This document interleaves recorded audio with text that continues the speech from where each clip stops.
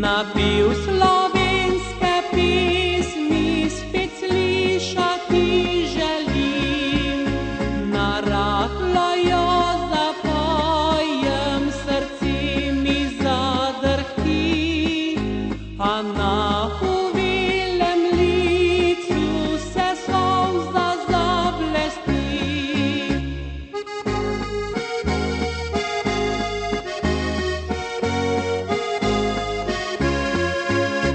Saj pisem mi pričaral srci prelep spomin, da v duhu vidim cvetje zasanjanih planin, da v sinci stare lipe poslušam glas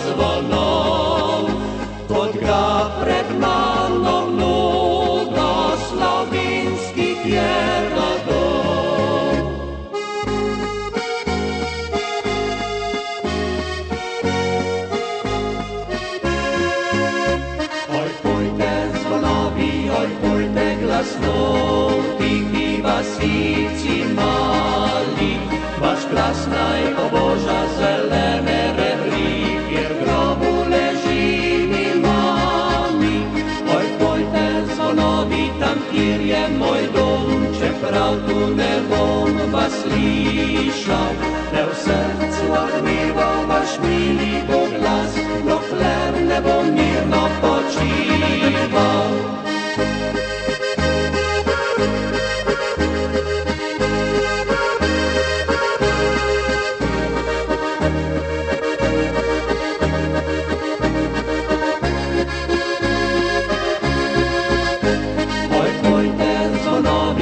kim je moj dom, čeprav tu ne bom vas slišal.